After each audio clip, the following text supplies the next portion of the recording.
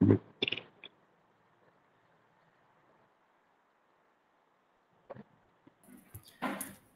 परिषद अहमदनगर आयोजित मिशन आरंभ शिष्यवृत्ती इयत्ता आठवी. आजच्या ऑनलाईन क्लासमध्ये सर्व बालमित्रांचं मी मनपूर्वक स्वागत करतो. आज आपण मराठी विषयातील कार्यात्मक व्याकरण या घटकातील शब्दांच्या जाती विकारी व अविकारी शब्द या आजच्या तासिकेसाठी आपल्याला तज्ज्ञ मार्गदर्शन म्हणून श्री भीमा लिंबे सर शारदा विद्या मंदिर तालुका राहता. हे मार्गदर्शन करणार आहेत. सरांना विनंती करतो आपला गट सुरू करावा. लिंबे सर नमस्कार विद्यार्थी मित्रांनो. आजच्या मराठी विषयाच्या अंतर्गत आज आपण कार्यात्मक व्याकरण उपघटक आहे शब्दांच्या जाती विकारी आणि अविकारी यापैकी आज आपण विकारी या शब्दांच्या जातीविषयी माहिती पाहणार आहोत. तर विकारी व अविकारी शब्द हा जो भाग आहे तो आपल्याला परीक्षेसाठी त्यासाठी तीन टक्क्याचा भारांश ठेवलेला आहे. आणि एक प्रश्न त्यावर येतो दोन गुणांसाठी. तर आज आपण विकारी या विकारी मध्ये नाम सर्वनाम विशेषण आणि क्रियापद या घटकांचा समावेश होतो. तर या प्रत्येक घटकाची सविस्तरपणे माहिती या ठिकाणी आपण पाहूया. शब्दांच्या जाती त्यामध्ये विकारी विकारीमधील पहिली जी जात आहे शब्दाची ती म्हणजे नाम. आता नाम कोणाला म्हणायचं? तर त्याची व्याख्या या ठिकाणी आपण समजून घेऊया. प्रत्यक्ष दिसणाऱ्या किंवा कल्पित वस्तूचे किंवा तिच्या गुणधर्माचे नाव दर्शवणाऱ्या विकारी शब्दाला नाम असे म्हणतात. आता आपण ज्या गोष्टी डोळ्यांनी पाहतोय त्या प्रत्यक्षपणे आपल्याला डोळ्यांनी दिसतात.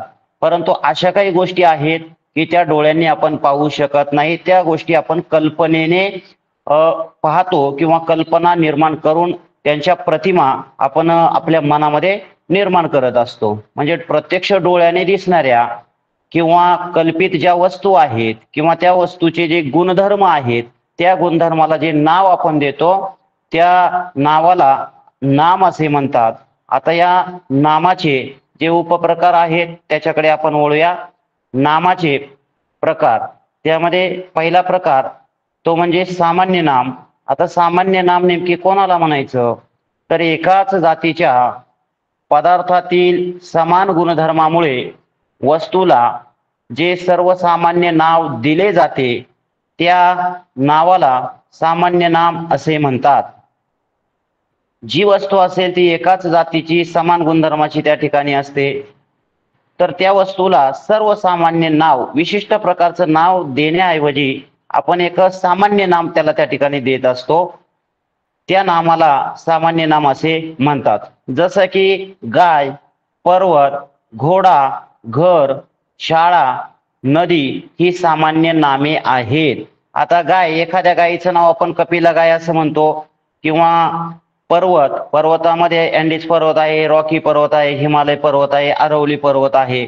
पण ह्या सगळ्या अरवली असेल रॉकी असेल हिमालय असेल किंवा आपला सह्याद्री असेल या सगळ्यांना आपण सामान्यपणे पर्वत आहेत असं आपण म्हणतो. म्हणून पर्वत हा जो शब्द आहे तो सामान्य नाम आहे. किंवा घोडा आहे जसं आपण गाईला नाव ठेवतो बैलाला एखाद्याला सर्जा म्हणतो किंवा राजा म्हणतो कुत्र्याला सुद्धा नाव आपण ठेवतो तसं घोड्याला सुद्धा वेगवेगळ्या प्रकारची नाव आपण ठेवत असतो. परंतु सामान्यपणे त्या प्राण्याला घोडा म्हणून आपण संबोधत असतो. तसंच घराच्या बाबतीमध्ये आहे शाळेच्या बाबतीमध्ये आहे. शाळा हे सामान्य नाम आहे. परंतु एका विशिष्ट शाळेचे जेव्हा आपण नाव घेतो न्यू इंग्लिश स्कूल अमुक अमुक असं जेव्हा आपण म्हणतो तेव्हा ते विशेष नामामध्ये जातं. परंतु शाळा हे सामान्य नाम आहे. तसंच नद्यांच्या बाबतीमध्ये आहे. प्रवरा असेल गोदावरी असेल किंवा गंगा नदी असेल ब्रह्मपुत्र ही नद्यांची नावं आहेत. परंतु या सर्व काय आहेत? तर या नद्या आहेत. म्हणून सामान्यपणे त्याला जे नाव दिलं जातं त्या सामान्यपणे दिलेल्या नावाला सामान्य नाम असं म्हटलं जातं.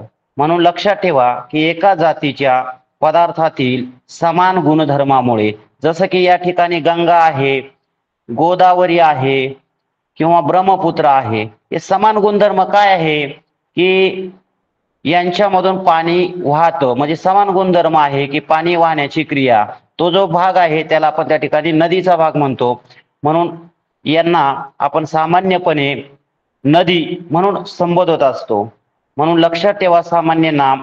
या सामान्य नामामध्ये एकाच जातीच्या पदार्थातील समान गुणधर्मामुळे ते पदार्थ एकाच जातीचे असतात त्यांच्यामध्ये समानता कुठेतरी त्यांच्या गुणधर्मांमध्ये दिसून येते. तर अशा प्रकारे त्याला जे नाव ठेवलं जातं मग ती वस्तू असेल एखादा पदार्थ असेल एखादा ठिकाण असेल तर अशा प्रकारे त्याला सामान्यपणे ठेवलेले नाव म्हणजे सामान्य नाम असतं. आता नामाचा दुसरा जो प्रकार आहे तो म्हणजे विशेष नाम. विशेष नाम कोणाला म्हणायचं? तर जे नाम एकाच जातीच्या विशिष्ट व्यक्तीचा प्राण्याचा किंवा वस्तूचा बोध करून देते त्या नामाला विशेष नाम असे म्हणतात. विशिष्ट अशा व्यक्तीचा बोध होतो त्याच्यातून किंवा विशिष्ट अशा प्राण्याचा बोध होतो. विशिष्ट अशा वस्तूचा बोध आपल्याला त्या ठिकाणी होत असतो. तर अशा प्रकारे विशिष्ट अशा एका वस्तूचा प्राण्याचा व्यक्तीचा किंवा ठिकाणाचा किंवा एखाद्या पदार्थाचा जर बोध आपणाला होत असेल तर त्या नामाला विशेष नाम असे म्हणतात. उदाहरणार्थ एखाद्या व्यक्तीचं आपण नाव ठेवतो पा रामदास. गाईचं नाव आपण कपिला म्हणून ठेवू ठेवतो. त्यानंतर पर्वत हिमालय पर्वत आहे.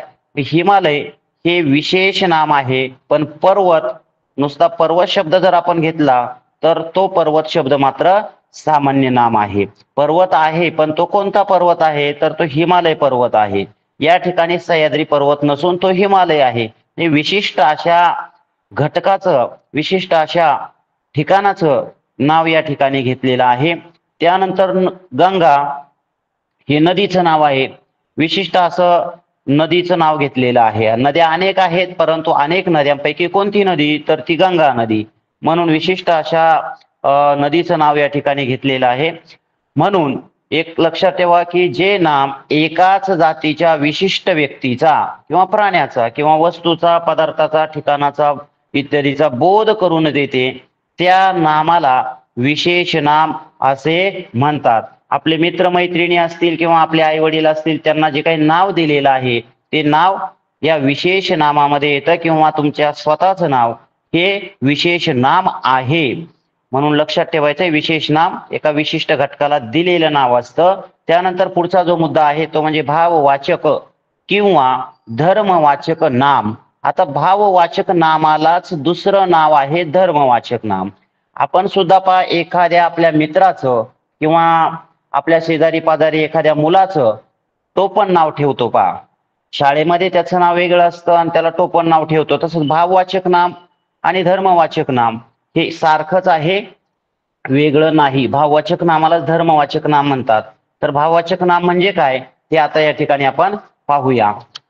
भाववाचक किंवा धर्मवाचक नाम समजून घेत असताना लक्षात घ्या की ज्या नामामुळे प्राण्यामधील किंवा पदार्थामधील गुणाचा भावाचा अथवा धर्माचा धर्म म्हणजेच गुण असा अर्थ या ठिकाणी भाषेमध्ये होतो. बोध होतो ते भाववाचक किंवा धर्मवाचक नाम होय. पा ज्या नामामुळे प्राण्यामधील मग प्राण्यामध्ये विशिष्ट प्रकारचा गुण असतो पदार्थामध्ये विशिष्ट प्रकारचा गुण असतो किंवा त्याच्यामध्ये असणारा भाव तर त्याचा बोध जर आपल्याला होत असेल तर ते नाम असतं भाववाचक नाम किंवा धर्मवाचक नाम असंही त्याला म्हटलं जातं. आता उदाहरणार्थ पहा चांगुलपणा शौर्य आनंद दिव्यता गोडवा इत्यादी. आता ही भाववाचक नामाची किंवा धर्मवाचक नामाची उदाहरणे या ठिकाणी आहे. कधी कधी काय होतं पहा धातूपासून नामे बनतात. ती जी नामे असतात ती धातू साधित नामे म्हणून ओळखली जातात. याची काही उदाहरणं या ठिकाणी आपण पाहूया. उदाहरणार्थ चालणे हा एक व्यायाम आहे. दुसरं उदाहरण आहे त्याला खेळणे आवडते. आता या ठिकाणी चालणे आणि खेळणे यांचा जर आपण विचार केला तर ही धातू साधित नामे आहेत. म्हणून लक्षात घ्या आता चालणे पाहिलं तर चाल चालणे क्रियापदामध्ये येतं परंतु त्याचा वापर या ठिकाणी नाम म्हणून केलेला आहे. मूळ शब्द जो आहे तो चाल चालपासून चाल या धातूपासून चालणे हा शब्द तयार झालेला आहे आणि त्या चालणे या शब्दाचा वापर नाम म्हणून केलेला आहे आणि ते धातू साधित असल्यामुळे त्याला धातू साधित नाम असं म्हटलेलं आहे. तसंच खेळ हा मूळ शब्द किंवा मूळ धातू आहे खेळ. या खेळपासून तयार झालेलं आहे धातू साधित नाम. ते म्हणजे खेळणे. आता हे क्रियापद म्हणून ते वापरलं असतं तर वाक्याच्या शेवटी आलं असतं. परंतु या वाक्यामध्ये त्याला खेळणे आवडते. या वाक्यामध्ये ते धातू साधित नाम म्हणून वापरलं गेलेलं आहे. म्हणजे जरी ते क्रियापद म्हणून वाटणारा शब्द असला तरी नाम म्हणून त्याचा वापर केलेला आहे. तशाच प्रकारे या ठिकाणी भाववाचक नाम किंवा धर्मवाचक नाम यांचा वापर आपल्याला वाक्यामध्ये वेगवेगळ्या पद्धतीने केलेला दिसून येतो. आता पुढचा जो मुद्दा आहे पहा तो म्हणजे भाववाचक नामे साधण्याचे प्रकार. आता भाववाचक नाम कशा प्रकारे त्या ठिकाणी तयार होतात त्याच्याकडे आपण वळूया. सामान्यपणे विश सामान्य नामे व विशेष नाम विशेषणे यांना य त्व पण किंवा पणा ई ता की गिरी वा आई यांसारखे प्रत्यय लावून भाववाचक नामे तयार होतात. लक्षात घ्या जी काही आपण सामान्य नामे मगाशी बघितली सामान्य नाम कोणाला म्हणायचं ते आत्ताच आपण पाहिलेलं आहे. एका विशिष्ट अशा जातीच्या पदार्थातील समान गुणधर्म जो असतो त्या वस्तूला जे सर्वसामान्य नाम नाव आपण देतो त्या नावाला आपण सामान्य नाम म्हणत असतो बघा. ही सामान्य नामे किंवा विशेषणे आता विशेषण आपण पुढे बघणारच आहोत. विशेषण म्हणजे नामाबद्दल विशेष माहिती सांगणारा तो शब्द असतो. तर त्या विशेषणांना विशेषणाचा शब्द किंवा सामान्य नामाचा शब्द यांना जर आपण य किंवा त्व पण पणा ई ता की गिरी वा आई यांसारखे जर प्रत्यय लावले तर त्यापासून आपणाला भाववाचक नाम मिळत असतं. आता त्याची काही उदाहरणे या ठिकाणी आपण पाहणार आहोत. तर पहा एक तक्ता मी या ठिकाणी तयार केलेला आहे. त्यामध्ये शब्द प्रत्यय भाववाचक नाम आणि इतर काही त्याची उदाहरणे. आता सुंदर सुंदर हे एक विशेषण आहे पहा. सुंदर मुलगी सुंदर फूल म्हणजे सुंदर हे विशेषण आहे. इथे म्हटलेलं आहे विशेषणे. यांना इथे य लावला सुंदर. त्याला प्रत्यय जर आपण य लावला तर त्यापासून भाववाचक नाम तयार होतं आणि ते तयार होणारं भाववाचक नाम म्हणजे सौंदर्य. पा सुंदरला जर आपण य प्रत्यय लावला तर भाववाचक नाम. आता सुंदर हे विशेषण. विशेषणाला जर आपण य प्रत्यय लावला तर त्यापासून भाववाचक नाम मिळतं. ते म्हणजे सौंदर्य.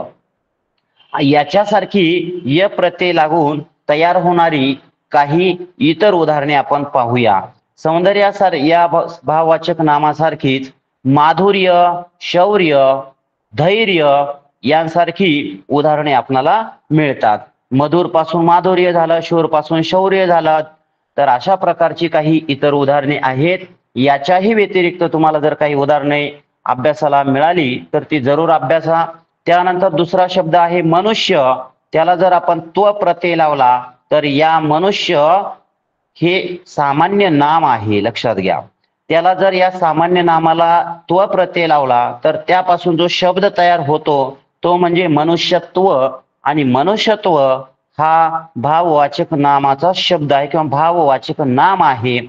अशा प्रकारे मनुष्याला जसं आपण त्व प्रत्यय लावला तशी इतर काही उदाहरणे या ठिकाणी आहेत. शत्रुत्व मित्रत्व प्रौढत्व मूळ शब्द किंवा मूळ धातू आहे शत्रू त्याला तो प्रत्यय लागला तर त्यापासून आपणाला शत्रुत्व हा शब्द या ठिकाणी मिळतो. आता मित्र हे सामान्य नाम आहे परंतु त्याला तो प्रत्यय लागला तर मित्रत्व हे भाववाचक नाम. त्यामुळे विद्यार्थी मित्रांनो वाक्यामध्ये जर मित्रत्व अशा प्रकारचा शब्द आला असेल शौर्य किंवा माधुर्य असे शब्द जेव्हा येतात तेव्हा आपल्याला पर्यायामध्ये जर समजा असा शब्द दिला माधुर्य हा शब्द कोणत्या नामाचा आहे? तर आपल्याला त्या ठिकाणी सामान्य नाम विशेष नाम भाववाचक नाम अशा प्रकारचे पर्याय असतील. तर आपल्याला माहिती आहे मधुर हे आपणाला त्या ठिकाणी विशेषणामध्ये जाईल. परंतु माधुर्य हा जो शब्द आहे तो आहे भाववाचक नामाचा. ते आपल्याला ओळखता आलं पाहिजे. म्हणून काही शब्द आपल्याला वेगवेगळ्या ठिकाणी वापर केलेले आढळतील. परंतु त्या वाक्यामध्ये त्या शब्दाचा वापर कोणत्या अर्थाने केलेला आहे ते आपण ओळखून घेणं गरजेचं आहे. त्यासाठी आपल्याला ह्या बारकाईच्या ज्या गोष्टी आहेत त्या लक्षात ठेवणं गरजेचं आहे. जसं की सामान्य नाम विशेषणाला हे प्रत्यय लागले तर त्यापासून भाववाचक नाम तयार होतं. मग ते प्रत्यय कोणते आहेत ते आपल्याला पाठ करणं गरजेचं आहे. तर पुढचं उदाहरण आपण पाहूया. शब्द आहे शहाणा. त्याला जर पण किंवा पणा प्रत्यय लागला तर त्यापासून शहाणपण किंवा शहाणपणा हा भाववाचक नामाचा शब्द तयार होतो. तसंच देवपण देव हा शब्द सामान्य नामाचा आहे पण देवपण जर असा शब्द असेल तर तो भाववाचक नामाचा शब्द आहे. तसंच मोठापासून मोठेपण हा शब्द तयार झालेला आहे. तसंच श्रीमंत हा शब्द आहे त्याला जर ई प्रत्यय लागला असे या ठिकाणी तो य त्व पण पणा ई ता की गिरी वा आई हे जे प्रत्यय आहेत त्याच्यापैकी मी काही उदाहरणं घेतलेली आहेत. य त्व पण पणा ई वा. आता गिरीची उदाहरणं तुम्ही शोधा. आईची उदाहरणं काय असेल तर ती शोध शोधा. ता प्रत्यय लागल्यानंतर कशा प्रकारे बदल होतो? वा प्रत्यय लागल्यानंतर कशा प्रकारे बदल होतो? ती उदाहरणं तुम्ही अभ्यासायची आहेत त्यांचा शोध घ्यायचा आहे. या ठिकाणी मी नमुना म्हणून उदाहरणादाखल काही प्रत्यय लावून शब्द घेतलेले आहेत. जसं की श्रीमंत ही प्रत्यय लागला श्रीमंती हा शब्द भाववाचक नामाचा तयार झाला.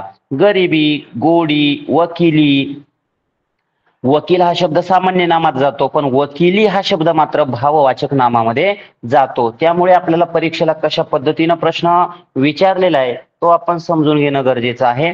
त्यानंतर गोड या शब्दाला वा प्रत्यय लागला तर गोड वा हा भाववाचक नामाचा शब्द मिळतो. गोड आंबा किंवा गोड सफरचंद म्हणजे गोड हा शब्द विशेषणाचा आहे. त्यानंतर इतर उदाहरणं गारवा ओलावा वा प्रत्यय लागून तयार झालेली भाववाचक नामाची ही उदाहरणे आहेत. त्यानंतर आता आपण पुढच्या मुद्द्याकडे वळूया. त्यामध्ये पहा नामाविषयी काही महत्त्वाच्या गोष्टी. नाम ही संकल्पना अभ्यासत असताना त्या नामाविषयी काही महत्त्वाच्या गोष्टी आपण लक्षात ठेवणं गरजेचं आहे. मग कोणकोणत्या गोष्टी लक्षात या ठिकाणी आपल्याला ठेवाव्या लागतील? तर त्यामध्ये सामान्य नामाचे अनेक वचन होते. वचन या मुद्द्यामध्ये सुद्धा आपण पाहिलेलं आहे सामान्य नामाचं अनेक वचन होतं. पण नाम ही संकल्पना अभ्यासत असताना आपल्याला लक्षात ठेवणं गरजेचं आहे की सामान्य नामाचे जे जे काही शब्द असतील त्या शब्दांचं अनेक वचन होतं. जसं की घर आता घर हा सामान्य नामाचा शब्द आहे. त्यापासून अनेक वचन आपल्याला मिळतं. ते म्हणजे घरे माणूस माणसे झाड झाडे. तुम्ही सामान्य नामाचा कोणताही शब्द घेतला जसं की मगाशी नदी आपण बघितलं त्या नदीपासून नद्या हा शब्द आपणाला मिळतो तर त्याचं अनेक वचन होतं. त्यानंतर काही शब्द मात्र असे असतात की अनेक वचनामध्ये सुद्धा ते एक वचनासारखेच वापरले जातात. उदाहरणार्थ मगाशी आपण एक शब्द पाहिलेला होता पा शाळा हे सामान्य नाम आहे परंतु दोन शाळा अनेक वचनी जरी वापरला तरी शाळा म्हणूनच वापरला त्याचा वापर केला जातो. हा फरकही लक्षात घेणं गरजेचं आहे. त्यानंतर पुढे आपण जाऊया. विशेष नामाचे अनेक वचन होत नाही. मगाशी आपण पाहिलेलं आहे विशेष नाम नेमकी कोणाला म्हणायचं? तर एकाच जातीच्या विशिष्ट व्यक्तीचा जर त्या ठिकाणी उल्लेख होत असेल वस्तूचा पदार्थाचा ठिकाणाचा जर आपल्याला बोध होत असेल तर त्याला आपण विशेष नाम म्हणतो. तर त्याचं मात्र अनेक वचन होत नाही. जसं की या ठिकाणी संदीप संदीप हे एका मुलाचं नाव आहे. वर्षा हे एका मुलीचं नाव आहे. सूर्य भारत ही जी नावं आहेत एका विशिष्ट अशा घटकाची ती नावं आहेत. आणि त्यामुळे त्याचं अनेक वचन होत नाही. म्हणजे नामाच्या बाबतीमध्ये आपण अभ्यासतोय काही गोष्टी. सामान्य नामाच्या बाबतीमध्ये अनेक वचन होतं तर विशेष नामाच्या बाबतीमध्ये अनेक वचन होत नाही. हा फरक आपण लक्षात घेतला पाहिजे. त्याच्यानंतर पुढची गोष्ट आपल्याला लक्षात ठेवायची आहे ती म्हणजे भाववाचक नामाचे अनेक वचन होत नाही. आताच आपण पाहिलं भाववाचक नाम तयार होत असताना सामान्य नामे किंवा विशेषणे यांना काही प्रत्यय लागतात आणि भाववाचक नाम तयार होतं. पण तयार झालेलं जे भाववाचक नाम आहे त्याचं मात्र अनेक वचन होत नाही हे आपण लक्षात ठेवायचंय. मगाशी जसं आपण माधुर्य पाहिलं धैर्य पाहिलं तशा प्रकारे या ठिकाणी वात्सल्य मृदुता हे भाववाचक नामाचे शब्द आहेत. परंतु त्याचं अनेक वचन होत नाही. त्यानंतर पुढची गोष्ट आपल्याला लक्षात ठेवावी लागेल. ती म्हणजे कधी कधी विशेषणाचा उपयोग हा सामान्य नामासारखा होतो. पा विशेषणाचा शब्द मगाशीच मी सांगितलं तुम्हाला की एखादा शब्द आहे तो वाक्यामध्ये नेमकी कशा अर्थाने वापरलेला आहे तो अर्थ आपल्याला लक्षात येणं गरजेचं आहे. तो शब्द जरी क्रियापदाचा असला तरी तो नेमकी नाम म्हणून वापरलेला आहे की अजून दुसरा काही म्हणून वापरलेला आहे हे आपण लक्षात घेणं गरजेचं आहे. तसंच या ठिकाणी कधी कधी जे विशेष विशेष नाम असतं ना ते विशेष नाम त्याचा वापर हा सामान्य नामासारखा केला जातो. तर आता पहा तर कुंभकर्ण कुंभकर्ण हे नाव कोणाचं आहे? तर कुंभकर्ण हा रावणाचा भाऊ होता पा तर रावणाचा भाऊ मग या कुंभकर्ण हे एका व्यक्तीचं नाव आहे. मग एका व्यक्तीचं नाव आहे म्हणजे ते विशेष नाम आहे. कुंभकर्ण हे जर व्यक्तीचं नाव असेल तर ते विशेष नाम आहे. आणि या विशेष नामाचा वापर या ठिकाणी सामान्य नामासारखा केलेला आहे पहा. शब्द तर तो विशेष नामाचा आहे परंतु वाक्यामध्ये वापर करताना त्या ठिकाणी तो सामान्य नामासारखा वापर. तो अगदी कुंभकर्ण आहे. म्हणजे कुंभकर्णासारखा तो आहे. अशा प्रकारे सामान्य नाम म्हणून या कुंभकर्ण शब्दाचा वापर या वाक्यामध्ये केलेला आहे. कुंभकर्ण कोणीतरी होता. एक सामान्य व्यक्तीचं नाव आहे म्हणजे विशेष नाम आहे. परंतु या ठिकाणचा शब्द जो आहे तो सामान्य नाम म्हणून वापरलेला आहे. याच्यासारखे अनेक जण असतील तर त्या शब्दाचा वापर सामान्य नामासारखा होतो. पुढे जाऊया आपण. तर पुढे पहा कधी कधी भाववाचक नामाचा उपयोग सामान्य नामासारखा होतो. बघा जसं विशेष नामाचा उपयोग सामान्य नामासारखा होतो तसं भाववाचक नामाचा उपयोग सुद्धा सामान्य नामासारखा वाक्यामध्ये कसा वापर केलेला आहे त्याच्यावरून ते ठरवायचं. सामान्य नाम आहे की भाववाचक नाम आहे? सामान्य नाम आहे की विशेष नाम आहे? वाक्याचा अर्थ आपण समजून घेणं गरजेचं आहे. आणि अर्थ समजून घेतल्यानंतर ते नेमकी सामान्य नाम आहे की भाववाचक आहे की विशेष नाम आहे हे आपण लक्षात घ्यायचं आहे त्याचा शोध घ्यायचा आहे. आता या ठिकाणी म्हटलेलं आहे पहा कधी कधी भाववाचक नामाचा उपयोग सामान्य नामासारखा होतो. आणि सामान्य नामासारखा होतो. कसा होतो पहा? तर पैशात उदाहरणार्थ पैशात सा पैशात सारी सुखे सामावलेली नसतात. वाक्य नकारात्मक नकारार्थी आहे परंतु अर्थ आपण समजून घेत असताना या ठिकाणी भाववाचक नाम आलेलं आहे सुख. सुख हे भाववाचक नाम त्या ठिकाणी आलेलं आहे परंतु त्याचा जो वाप सुखापासून सुख या शब्दापासून तयार झालेला आहे सुखे. सुखे. तर हा भाववाचक नामाचा शब्द आहे. परंतु या वाक्यामध्ये तो सामान्य नामासारखा वापर केलेला आहे. पैशात सारी सुखे सामावलेली नसतात. आता हे सुख वेगवेगळ्या प्रकारचं असतं बघा. वेगवेगळ्या प्रकारचं सुख असतं.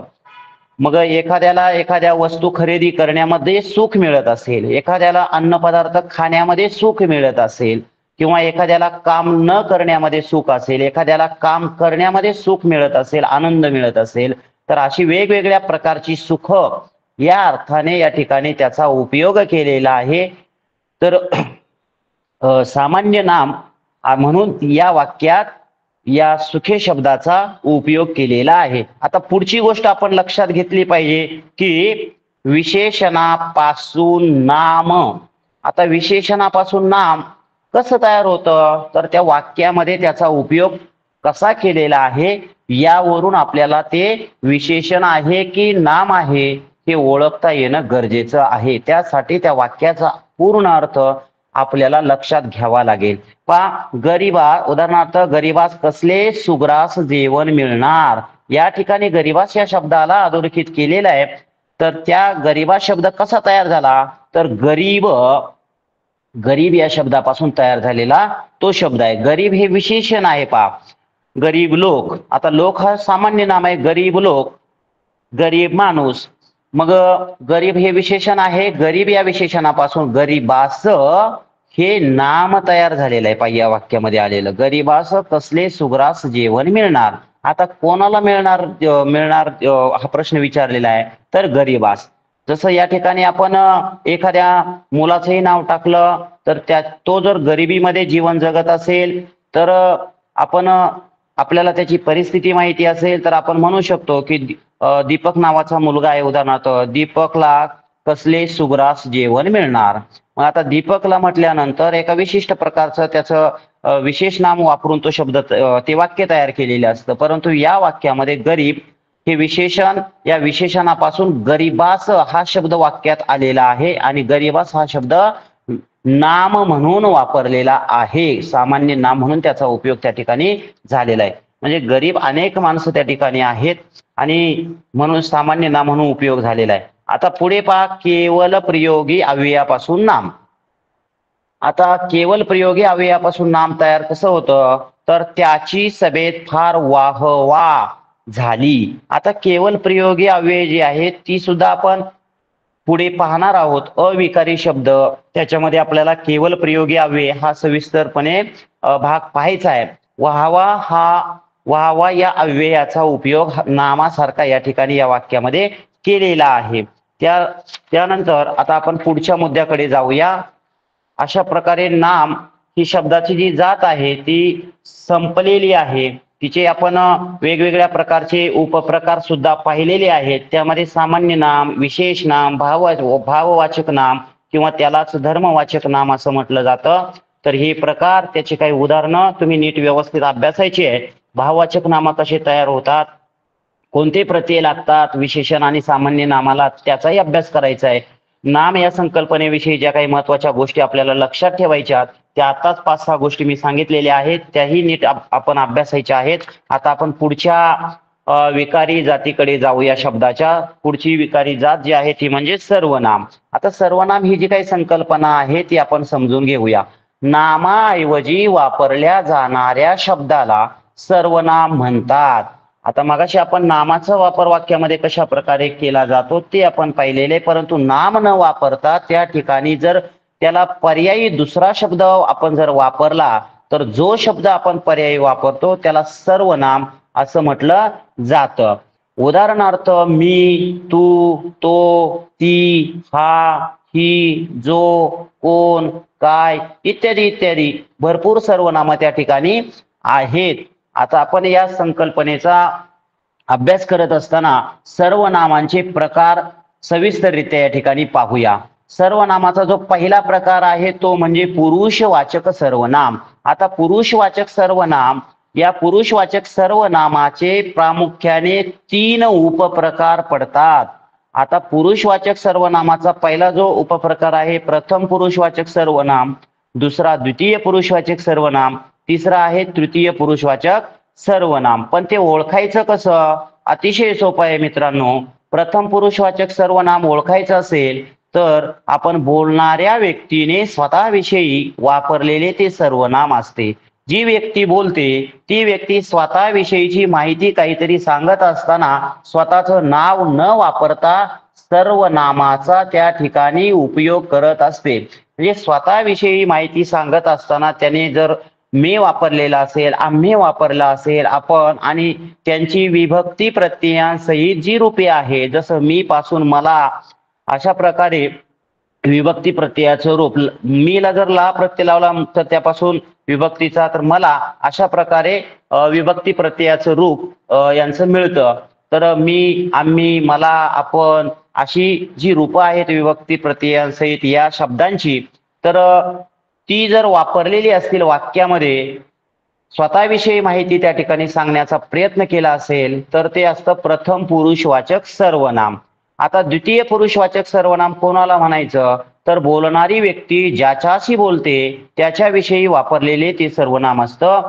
समजा मी एखाद्या दुसऱ्या व्यक्तीबरोबर बोलत असेल माझ्या मित्राबरोबर बोलत असेल तुम्ही तुमच्या मित्राबरोबर बोलत असाल तर तुम्ही सहज त्याला म्हणता तो आज अभ्यास केला का? म्हणजे त्या तो आज अभ्यास केला का? यामध्ये तू हे जे तुम्ही तुमच्या मित्राचं नाव जर असेल सूरज तर सूरज अभ्यास केला का? असं न म्हणता तू तुम्ही काय म्हणता तू आज अभ्यास केला का? म्हणजे सूरजच्या ऐवजी तू वापरला तर तू हे द्वितीय पुरुषवाचक सर्वनाम आहे. तुम्ही आपण आता इथे पण आपण आलेला आहे इथे पण आपण आलेला आहे परंतु वाक्यामध्ये त्याचा वापर होत असताना तो कशा पद्धतीने वापरलेला आहे? वाक्यामध्ये जर बोलणारी व्यक्ती ज्याच्याविषयी बोलते त्याच्याविषयी जर आपण शब्द हे सर्वनाम वापरलेलं असेल तर ते द्वितीय पुरुषवाचक सर्वनामामध्ये जातं. स्वतःविषयी जर आपण वापरत असेल तर ते प्रथम पुरुषवाचक सर्वनामामध्ये जातं.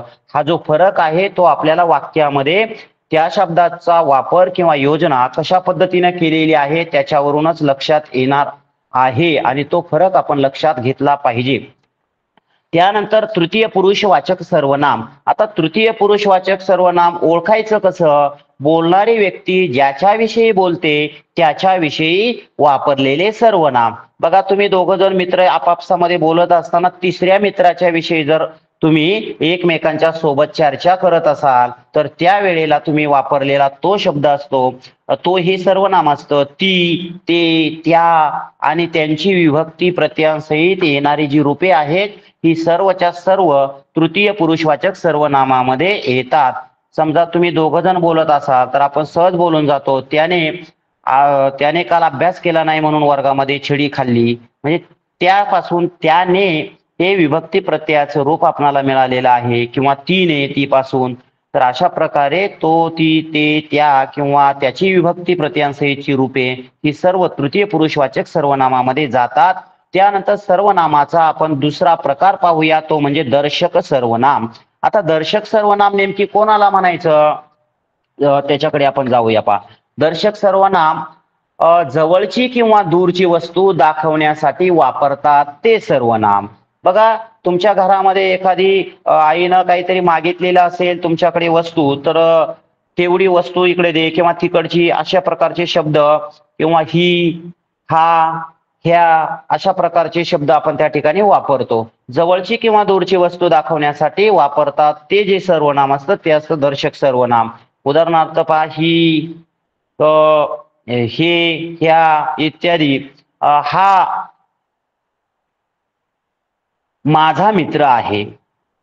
हा माझा मित्र आहे. म्हणजे तुम्ही जर ओळख करून देत असाल तुमच्या मित्राची तर तुम्ही बोलता हा माझा मित्र आहे तो आमक्या आमक्या शाळेमध्ये शिकतो. अशा प्रकारे ओळख करून देता. त्यामुळे त्या ठिकाणी त्या वाक्यामध्ये वापरलेला हा जो शब्द असतो तो दर्शक सर्वनामाचा शब्द असतो. त्यानंतर सर्वनामाचा पुढचा प्रकार आपण या ठिकाणी पाहूया. तो म्हणजे संबंधी सर्वनाम. आता संबंधी सर्वनाम नेमकी कोणाला म्हणायचं? ते या ठिकाणी आपण समजून घेऊया. संबंधित सर्वनाम अभ्यासत असताना वाक्यात पुढे येणाऱ्या दर्शक सर्वनामाशी संबंध दाखवणारे सर्वनाम. वाक्यामध्ये दर्शक सर्वनाम येतं. आता दर्शक सर्वनाम नेमकी कोणाला म्हणायचं? तेही आपण या ठिकाणी पाहिलेलं आहे. आणि या दर्शक सर्वनामाशी जो संबंध जवळची किंवा दूरची वस्तू दाखवण्यासाठी ते सर्वनाम वापरलेलं असतं आणि त्या सर्वनामाशी संबंध दाखवण्यासाठी जो शब्द येतो नामाऐवजी तो शब्द असतो संबंधी सर्वनामाचा. उदाहरणार्थ पहा जो जी जे ज्या अशा प्रकारे संबंध आपण दाखवतो. एक उदाहरण घेतलेलं आहे मी पहा. जो करील तो भरील. आता तो भरील. या ठिकाणी सुद्धा सर्वनाम आलेला आहे. परंतु तो दर्शक सर्वनामाचा दर्शक सर्वनाम आहे किंवा दर्शक सर्वनामाचा तो शब्द आहे. जो करील तो भरील. अशा प्रकारे वाक्यामध्ये जो हा शब्द जो आहे किंवा हे सर्वनाम आहे हे संबंधी सर्वनाम आहे तो हे जे सर्वनाम आहे हे आपणाला दर्शक सर्वनाम आहे. त्यानंतर सर्वनामाचा पुढचा प्रकार आपण पाहूया. प्रश्नार्थक सर्वनाम. आता प्रश्नार्थक सर्वनाम नेमकी कोणाला म्हणायचं? तर वाक्यामध्ये प्रश्न विचारण्यासाठी वापरलेले सर्वनाम जे असतं त्याला दर्शक सर्वनाम असे म्हणतात.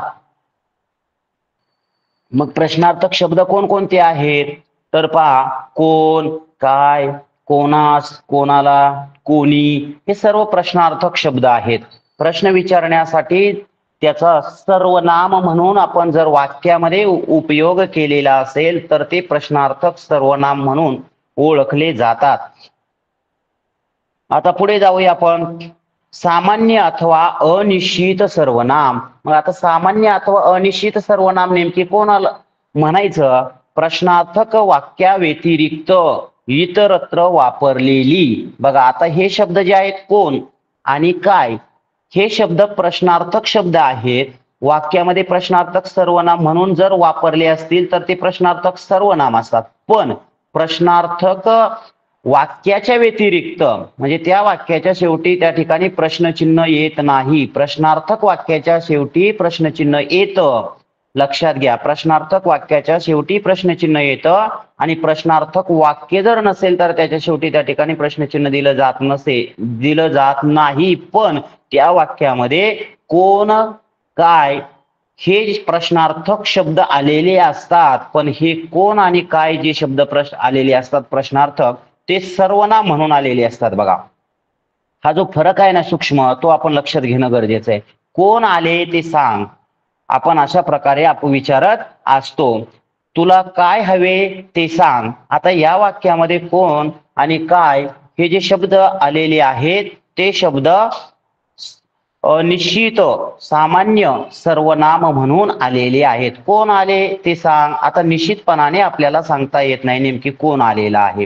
किंवा सामान्यपणे आपल्याला सांगता येत नाही तिकडं कोण आलेला आहे. खात्री नाहीये तिथे. तर तुला काय हवे ते सांग. आता नेमकी काय पाहिजे? विशिष्ट अशा प्रकारची गोष्ट या ठिकाणी नाही. तर अनिश्चित आहे. अशा प्रकारे त्या शब्दांचा वापर त्या ठिकाणी होतो. अनिश्चित किंवा सामान्य सर्वनाम म्हणून वापर होतो. त्यानंतर पुढचं जे सर्वनाम आहे आत्मवाचक सर्वनाम. आता आत्मवाचक सर्वनाम आपण स्वतः ही जी सर्वनामे आहेत ती आत्मवाचक सर्वनामे म्हणून ओळखली जातात. आता मी स्वतः तेथे जाणार नाही. आता मी स्वतः तेथे जाणार नाही. या वाक्यामधला स्वतः हा जो शब्द आहे तो आत्मवाचक सर्वनामाचा शब्द आलेला आहे. आपले काम आपण करावे. या वाक्यात आलेला आपण शब्द आत्मवाचक सर्वनामाचा आहे. कारण या ठिकाणी स्वतःविषयी मी स्वतः आपले काम म्हणजे आपण स्वतःचं काम स्व आपलं स्वतःचं जे काम असतं ते आपण स्वतःच करावं. म्हणजे स्वतःविषयीचीच माहिती या दोनही वाक्यांमध्ये आलेली आहे. या वाक्यांचा अर्थ आपण लक्षात घेतला तर तर आत्मवाचक सर्वनाम त्याला म्हटलं जातं. त्यानंतर आता आपण पुढे तिसरी जी शब्दाची जात आहे ती म्हणजे विशेषण. या विशेषणाची माहिती पाहूया. आता नेमकी विशेषण नेमकी कोणाला म्हणायचं? तर पा विशेषण म्हणजे नामाबद्दल विशेष माहिती सांगणाऱ्या विकारी शब्दाला. आता बऱ्याच वेळेला विकारी अविकारी हे शब्द वापरले जातात. विकारी शब्द कोणाला म्हणायचं? न अविकारी कोणाला म्हणायचं? म्हणजे त्या शब्दामध्ये आपल्याला कुठेतरी बदल झालेला आढळतो किंवा बदल करता येतो बदल होतो जर जसा आपल्याला एखादा आजार जडतो विकार म्हणजे आजार रोग आपल्याला आजार जडल्यानंतर आपल्या दैनंदिन जीवनामध्ये बाधा येते. तशी शब्दाला जर बाधा येत असेल किंवा शब्दामध्ये जर बदल होत असेल तर तो शब्द विकारी शब्द असतो. म्हणून नामाबद्दल विशेष माहिती सांगणाऱ्या विकारी शब्दाला विशेषण असे म्हणतात. उदाहरणार्थ पाच चांगला वाईट शूर धीट पांढरा पुष्कळ इत्यादी इत्यादी या ठिकाणी विशेषणे आहेत.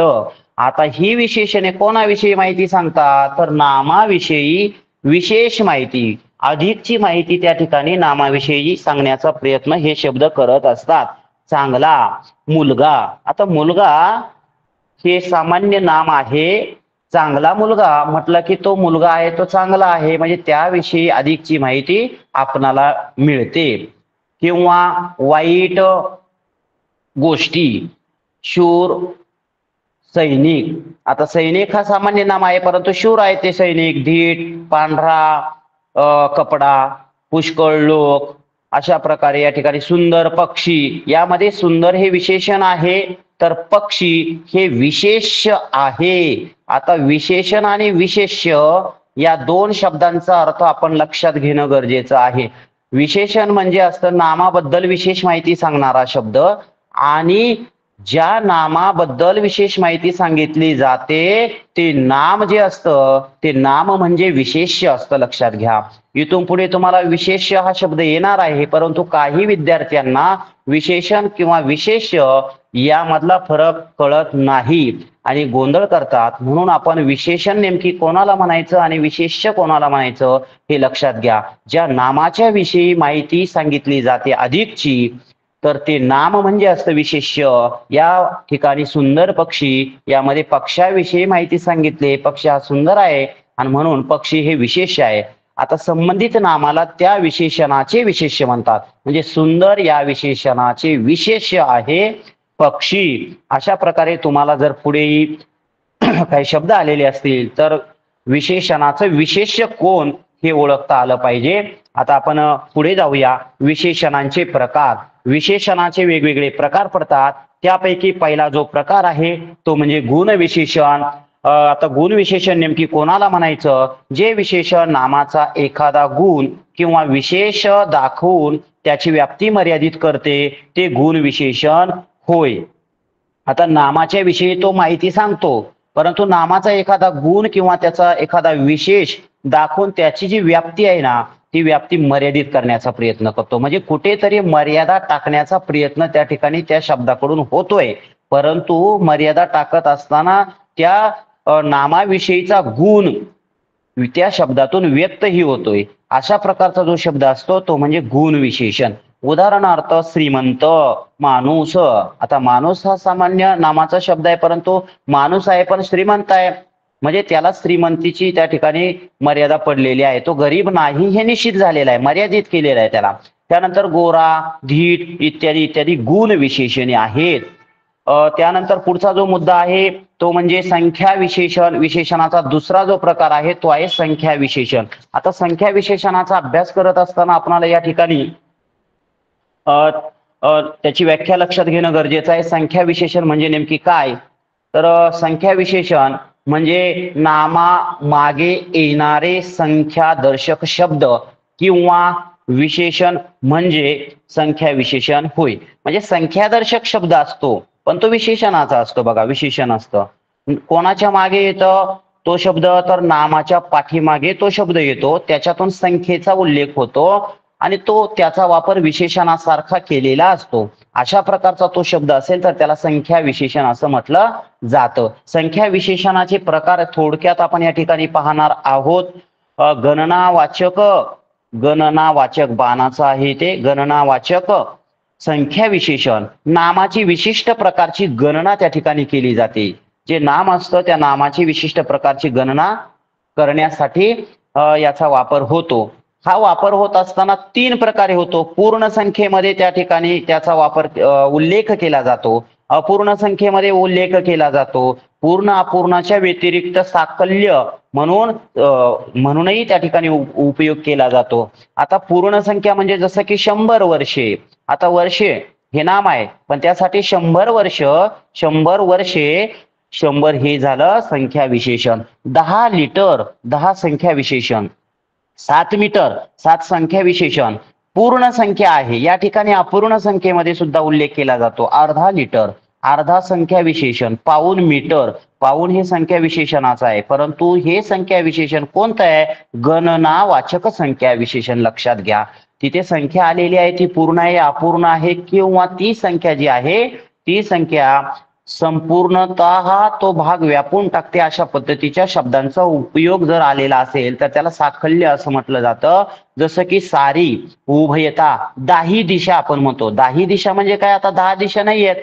दाही दिशा या शब्दाचा अर्थ काय होतो की आपल्या सभोवतालच्या सर्व ज्या बाजू आहेत त्या सर्वच्या सर्व बाजू अवतीभोवतीच्या सर्व जे अवकाश आहे तो सगळा भाग त्याच्यामध्ये सामावलेला असतो. निश्चित अशा प्रकारे संख्या नसते तसंच उभयता म्हणजे जेवढे उपस्थित असतील किंवा तिथे ती जी संख्या आहे ती निश्चित नसते तिथे पा सारी म्हणजे सगळेजण त्या ठिकाणी किती आहेत निश्चितपणाने सांगता येणार नाही.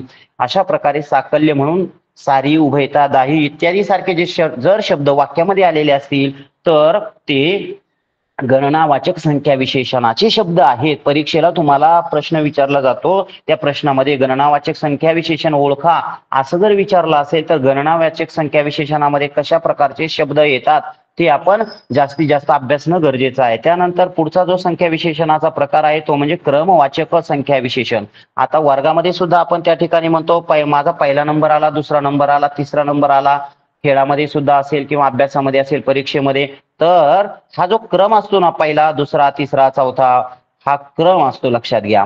म्हणून पहिला मजला तिसरा भाऊ दुसरा भाग असे जे काही आता तुम्हाला एकात्मिक पाठ्यपुस्तक आलेले त्याचे चार भाग मिळालेले आहेत. पहिला भाग तुम्ही अभ्यासत आहात.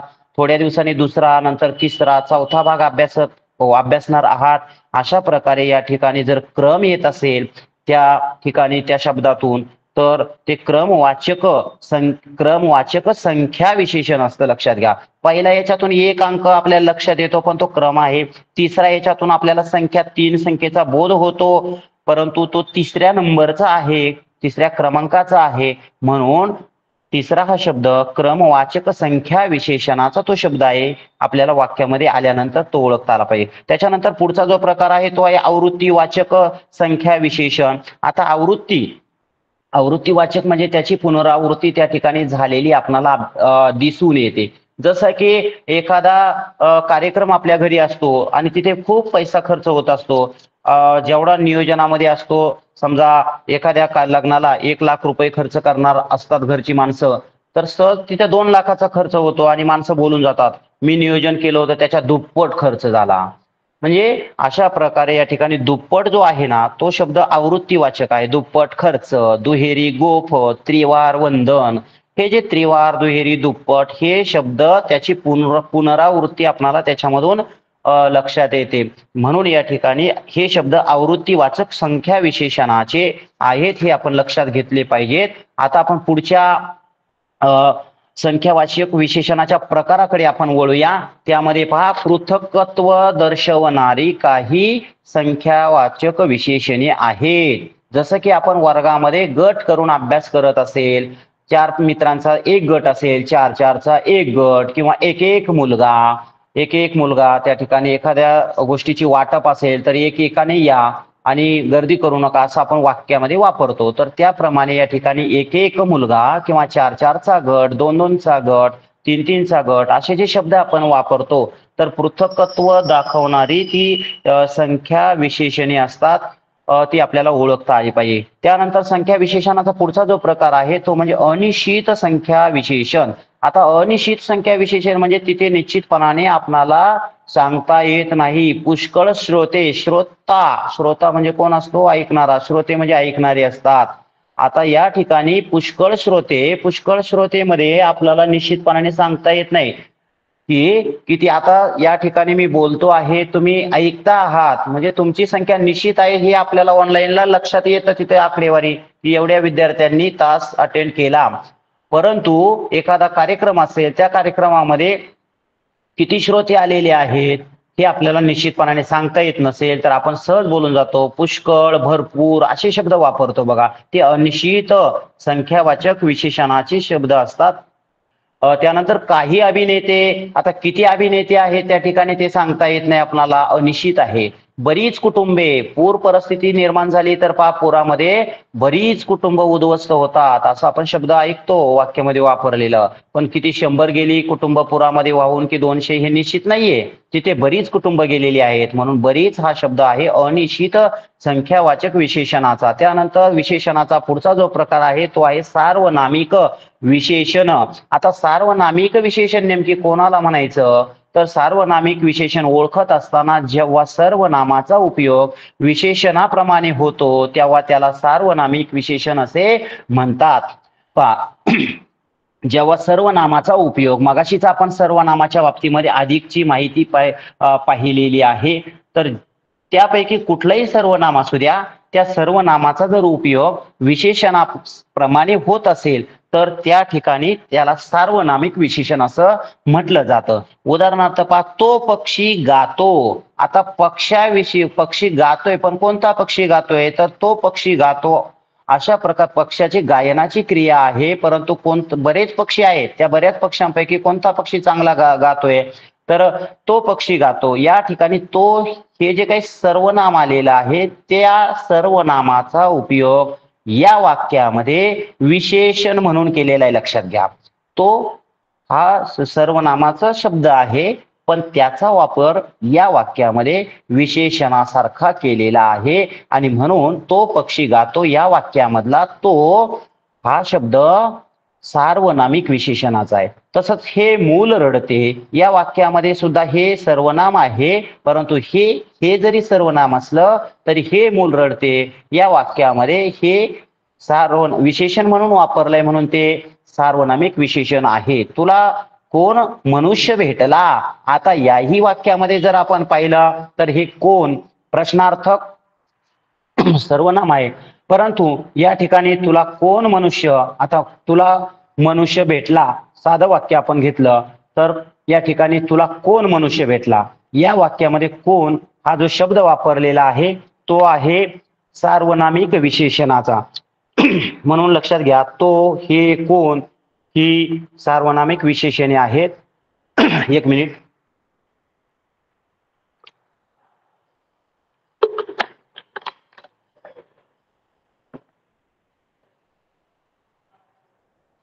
पुढे जाऊया आपण. धातुसाधित विशेषण विशेषणाचा पुढचा प्रकार आहे.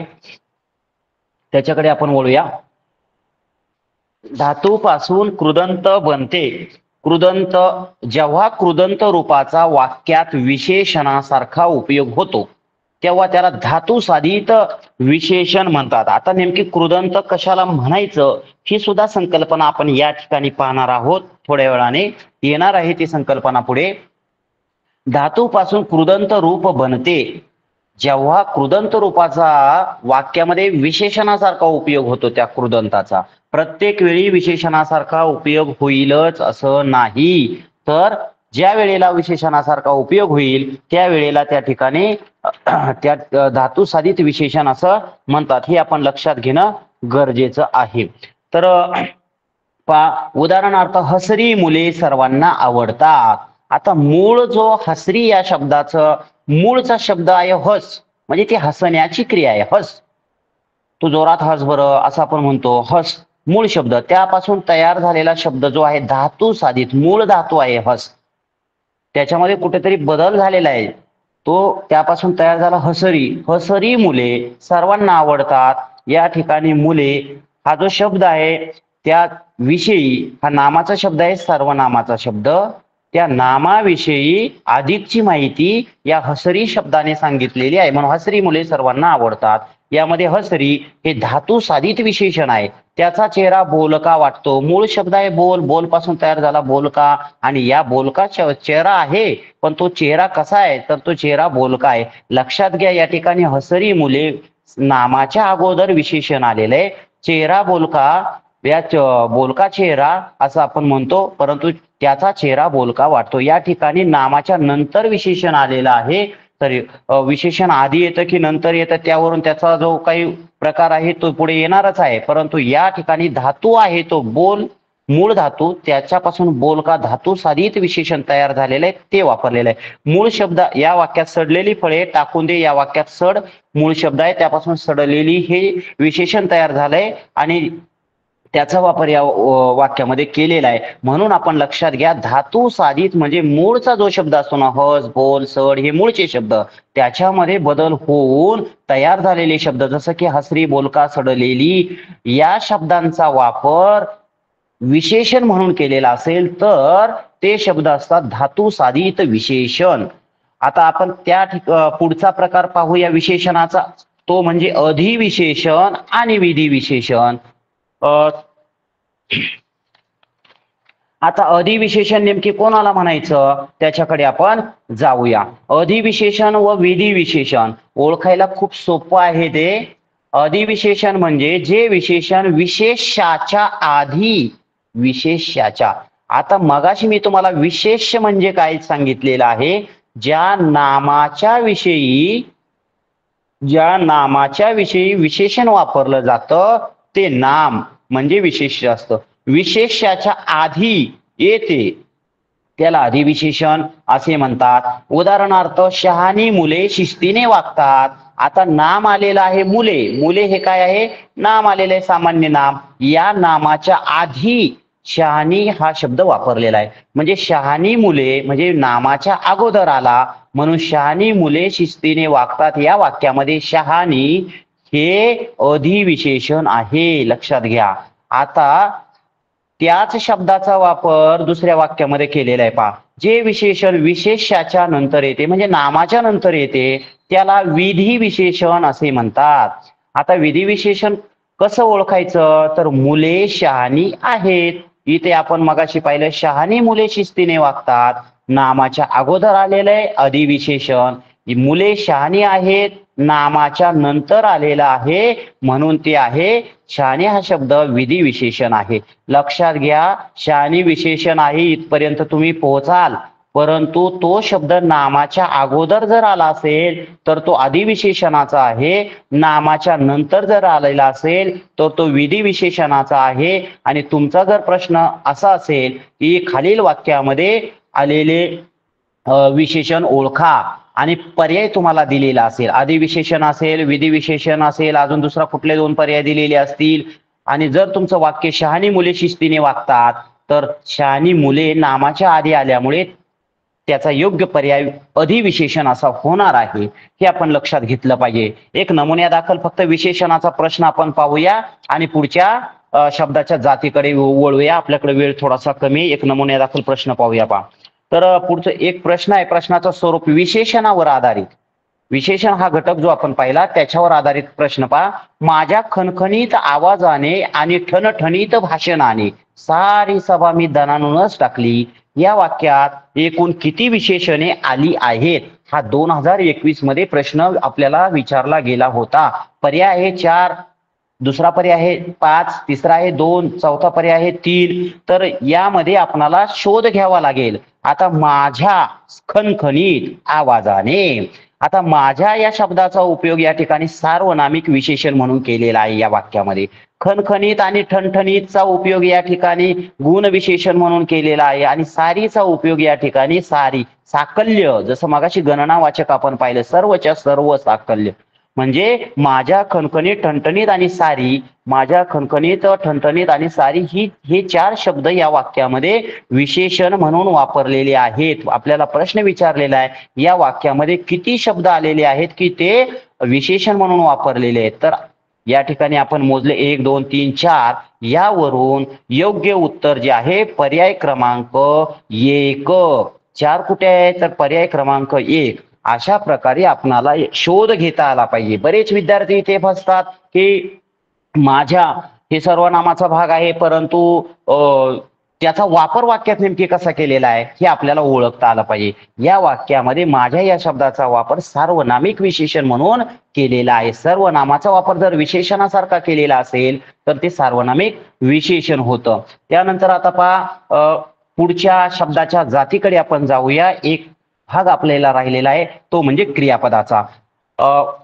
क्रियापद आता क्रियापद नेमकी कोणाला म्हणायचं कसं ओळखायचं त्याच्याकडे आपण जाऊया. पा क्रियेचा बोध करून वाक्याचा अर्थ पूर्ण करणाऱ्या विकारी शब्दाला क्रियापद असे म्हणतात.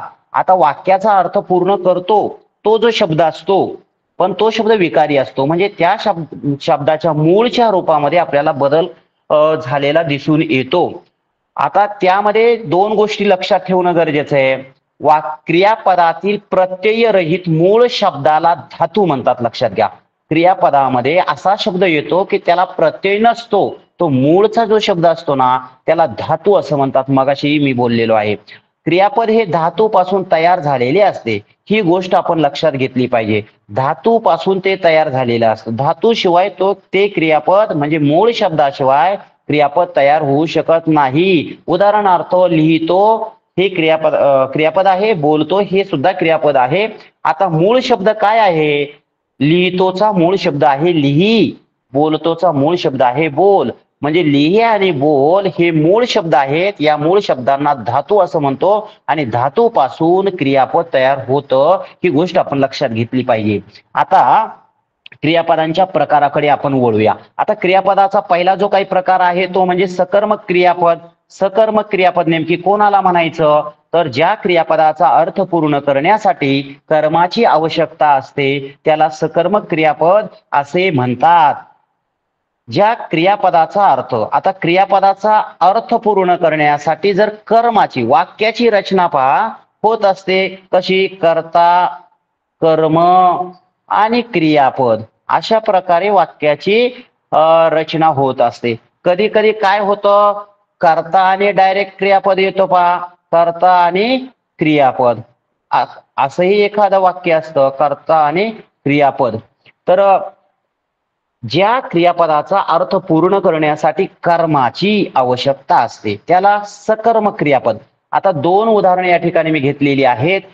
तो पत्र लिहितो. लिहितो हे क्रियापद आहे. त्याने तुला पाहिले पाहिले हे क्रियापद आहे. आता या ठिकाणी तो करता आहे पत्र कर्म आहे काय त्यानंतर क्रियापद लिहितो आहे. त्याने करता आहे तुला कर्म आहे पाहिले हा शब्द जो आहे तो क्रियापदाचा आहे. आता तो लिहितो. असं जर आपण केलं तो लिहितो. पण काय लिहितो? अर्थ पूर्ण होत नाही लक्षात घ्या. लिहिण्याची क्रिया करतो पण काय लिहितोय? क्रियापदाचा अर्थ पूर्ण होत नाही तो अपूर्ण राहतोय. लिहिण्याची क्रिया करतो पण काय लिहितोय हे कळत नाहीये. पत्र या शब्दामुळे त्या ठिकाणी आपल्याला तो पत्र लिहितोय. अशा प्रकारे त्या तो पत्र लिहितो. म्हणजे तो पत्र लेखन करण्याचं काम करतो अर्थ पूर्ण मिळतो. म्हणून या ठिकाणी कर्माची आवश्यकता या क्रियापदाला लागलेली आहे. त्याने तुला पाहिले. त्याने पाहिले. पण काय पाहिले त्याने? वाघ पाहिला की बकरी पाहिली की पुस्तक पाहिलं की वही पाहिली की कोणाला पाहिलं? या ठिकाणी त्याने तुला पाहिले. तुला पाहिले. आता विशिष्ट प्रकारे आपण सांगू शकतो त्याने तुला पाहिलेलं आहे. म्हणजे कर्माची आवश्यकता क्रियापदाचा अर्थ पूर्ण होण्यासाठी लागलेली आहे. म्हणून वाक्यामध्ये जर क्रियापदाचा अर्थ पूर्ण करण्यासाठी कर्माची आवश्यकता लागत असेल तर ते असतं सकर्म क्रियापद. कधी कधी अशी वाक्य येतात बघा की त्या ठिकाणी कर्माची आवश्यकता नसते. आता क्रियापदाचा दुसरा जो प्रकार आहे तो म्हणजे अकर्मक क्रियापद. आता अकर्मक क्रियापद कोणाला म्हणायचं? तर ज्या क्रियापदाचा अर्थ पूर्ण करण्यासाठी कर्माची आवश्यकता नसते त्याला अकर्मक क्रियापद असे म्हणतात. आता वरती आपण कर्माची आवश्यकता होती परंतु या ठिकाणी मात्र कर्माची आवश्यकता नाही. उदाहरणार्थ तो बसतो. ती वाचते. बघा आता ती तो बसतो तो म्हणजे खाली बसण्याची क्रिया तो करतोय ती वाचण्याची क्रिया करते आहे. या दो तो बसतो म्हणजे आपल्याला काय लक्षात येतं याच्यामधून की तो बसतो आहे तो बसण्याची क्रिया करतो आहे. ती वाचते याच्यावरून काय लक्षात येतं? ती वाचण्याची क्रिया करते आहे. या दोनही वाक्यामध्ये आपणाला कर्म नाही डायरेक्ट करता आहे आणि डायरेक्ट क्रियापद त्या ठिकाणी आलेलं आहे. आणि म्हणून ज्या क्रियापदाचा अर्थ पूर्ण करण्यासाठी कर्माची आवश्यकता नसते ते असतं अकर्मक क्रियापद. बसतो वाचते हे आहेत अकर्मक क्रियापदे.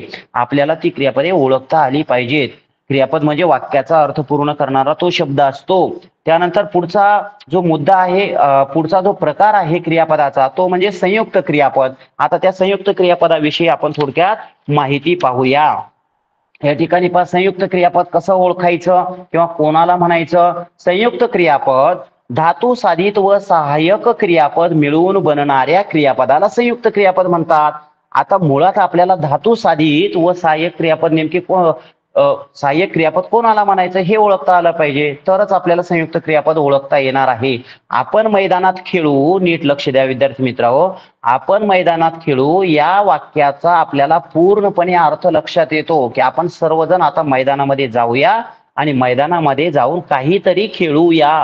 म्हणजे खेळण्याची क्रिया आपणाला करायची आहे. आता खेळू हे क्रियापद आहे त्याचा मूळ जो धातू आहे ना तो आहे खेळ. खेळपासून खेळू हे धातू साधित क्रियापद मिळालेलं आहे. म्हणजे या आपण मैदानात खेळू या वाक्यामध्ये खेळू.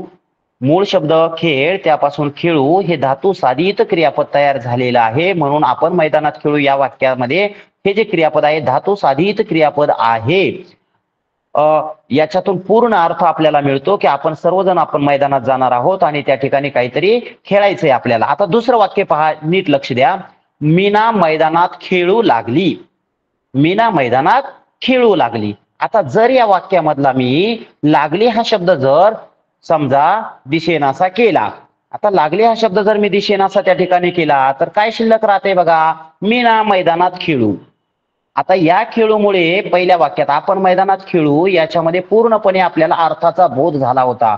पण मीना मैदानात खेळू याच्यातून अर्थाचा बोध होतोय का आपल्याला? काहीच बोध होत नाही. मीना मैदानात खेळू. वाक्याचा अर्थ पूर्ण होत नाही. आता त्याच्या पुढे जर लागली हा शब्द लावला तर मीना मैदानात खेळू लागली.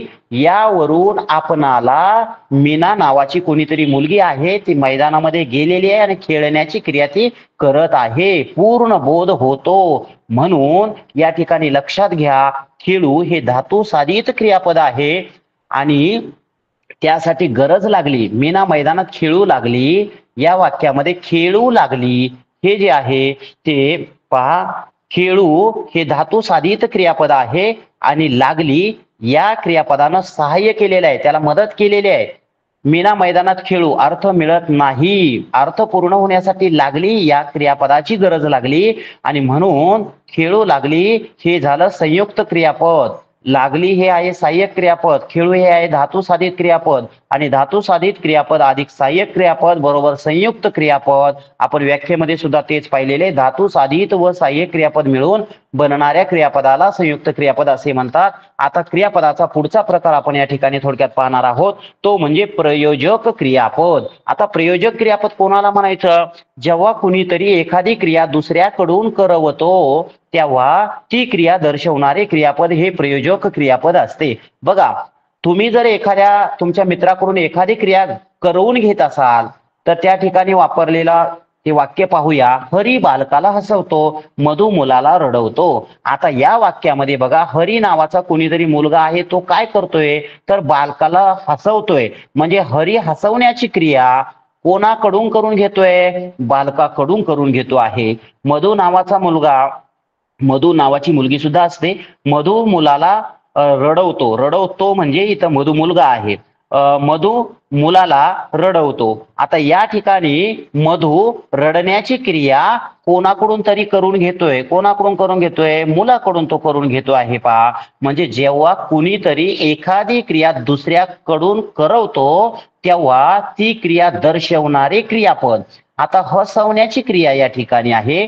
रडवण्याची क्रिया आहे आणि हसवण्याची आणि रडवण्याची क्रिया कोणीतरी कोणाकडून तरी करून घेतोय. म्हणजे हरी बालकाकडून आणि रडण्याची क्रिया मधू मुलाकडून करून घेते. म्हणून हसवतो आणि रडवतो ही जी क्रियापदे आहेत ती प्रयोजक क्रियापदे आहेत. क्रियापदाचा पुढचा प्रकार आपण या ठिकाणी पाहूया.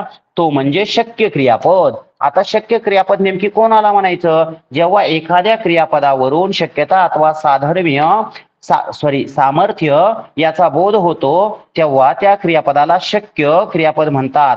उदाहरणार्थ दुखऱ्या पायाने त्याला आता चालवते. म्हणजे पाय त्याचा दुख दुखत होता तो दुखरा जो पाय आहे ना त्यानं आता त्याला चाल चालण्याची क्रिया अ, तो करतो. मला ही टेकडी चढवते. म्हणजे मला ही टेकडी चढवते. तो चढलेला नाही अजून. तो फक्त म्हणतोय की मी चढू शकतो त्या टेकडीवरती. किंवा ज्याचा पाय दुखतोय तो म्हणतोय की मी चालू शकतो मला चालवतोय आता. परंतु तो चाललेला नाहीये. ते शक्य क्रियापद असतं बघा. क्रियापदावरून शक्यता शक्यता दर्शवलेली आहे की मी चालू शकतो मी चढू शकतो. म्हणजे ही शक्यता आहे. त्या क्रियामध्ये चालवते चढवते शक्यता दर्शवलेली असल्यामुळे त्याला शक्य क्रियापद म्हणतात. क्रियापदाचा पुढचा प्रकार या ठिकाणी आपण पाहूया. तो म्हणजे अध्यारूत गुप्त क्रियापद. अध्यारूत क्रियापदालाच गुप्त क्रियापद म्हणतात. आता आपण तो प्रकार पाहूया. आता अध्यारूत म्हणजेच गुप्त क्रियापद नेमकी कोणाला म्हणायचं? तर जेव्हा एखाद्या वाक्यामध्ये आपल्याला क्रियापद दिसत नाही परंतु ते जाण आपण जाणतो. क्रियापद आहे हे कळतं आपल्याला पण डोळ्याने दिसत नाहीये ते. अशा गुप्त क्रियापदास अध्यारूत किंवा गुप्त क्रियापद म्हणतात. जसं की आपण दररोजच्या जीवनामध्ये काही शब्द वापरतो बघा सुविचार वापरतो ज्ञान तेथे मान. आता याच्यामध्ये आपल्याला कुठेही सुविचार सॉरी क्रियापद दिसत नाही या सुविचारामध्ये. ज्ञान तेथे मान या सुविचारामध्ये कुठेही किंवा या वाक्यामध्ये कुठेही आपल्याला त्या ठिकाणी क्रियापद दिसत नाही. पण जाणवतं. काय जाणवतं? ज्ञान तेथे मान. याचा अर्थ काय होतो? ज्या ठिकाणी ज्ञान आहे त्या ठिकाणी आपल्याला मान हा मिळणारच आहे असा त्याचा अर्थ होतो. म्हणजे क्रियापद जाणवतंय परंतु दिसत नाही. तसंच पहिलं वाक्य आहे सदू हाच यदूचा मामा. सदू नावाचा कोणीतरी माणूस आहे. यदू नावाचा सुद्धा कोणीतरी माणूस आहे आणि यदू नावाच्या माणसाचा सदू हा मामा आहे असा अर्थ आपल्याला याच्यामधून मिळतो. अर्थ मिळतो क्रियापद जाणवतं परंतु ते या ठिकाणी दिसत नाही. अशा प्रकारे जेव्हा हे सगळ्यात सोपं असतं परीक्षेला या- अशी उदाहरणं सुद्धा परीक्षेला विचारली गेलेली आहेत. त्यामुळं अध्यारूत किंवा गु- गुप्त क्रियापद ओळखणं अतिशय सोपं आहे.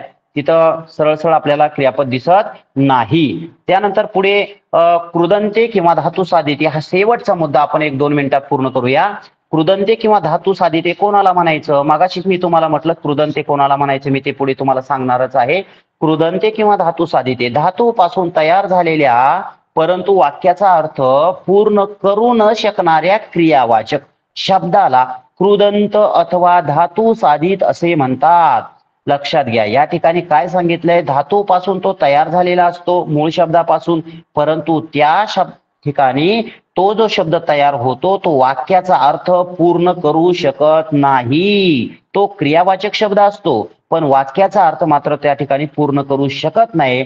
अशा शब्दाला कृदंत अथवा धातू साधित असं म्हणतात. धातू साधित क्रियापद केव्हा येईल? वाक्याचा अर्थ जर पूर्ण करत असेल तर धातू साधित क्रियापद येईल. परंतु तो शब्द जर धातू साधित असेल आणि वाक्याचा अर्थ पूर्ण करू शकत नसेल तर तो धातू साधित किंवा त्याचं दुसरं नाव आहे कृदंत असं त्याला म्हणतात. या ठिकाणी तीन उदाहरणं पाहूया. पोहणे हा चांगला व्यायाम आहे. आता पोहणे मूळ शब्द पो पोहई पोहोई असं होतो त्यानंतर तुझे फसवे बोल अं, मी ओळखतो. म्हणजे फस तो चालताना किंवा चालणे ही क्रिया आहे.